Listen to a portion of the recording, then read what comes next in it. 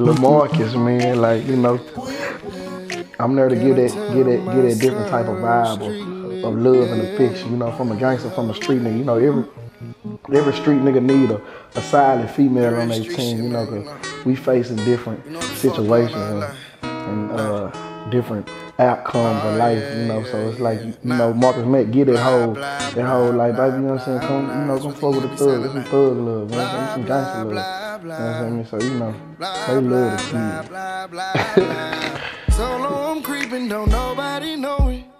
Feel like somebody.